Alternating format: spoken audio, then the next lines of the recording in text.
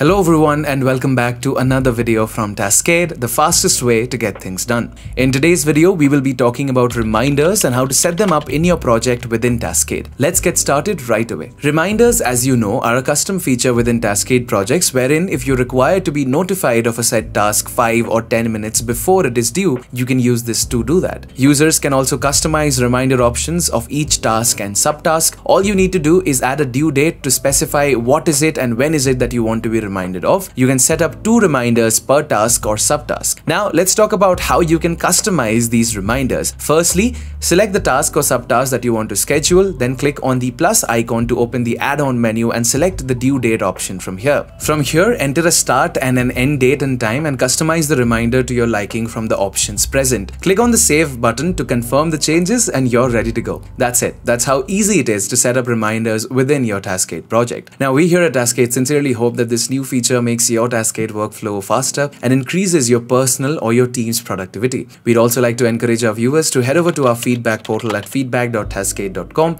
The link to the same will be in the description below to suggest new features that you would like to see in Taskade. Be sure to check out our Taskade YouTube channel and subscribe and also check out our socials for timely updates on Instagram, Reddit and Twitter. And be sure to leave a like and subscribe to our channel for more productivity-based videos like these. And of course, we'll be back with a new video soon. Taskade, simplify your productivity.